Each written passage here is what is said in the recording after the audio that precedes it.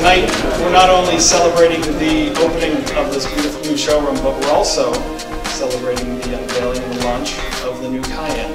The Cayenne for 2015 has been refined and improved as Porsche always does. I'd like to introduce the 2015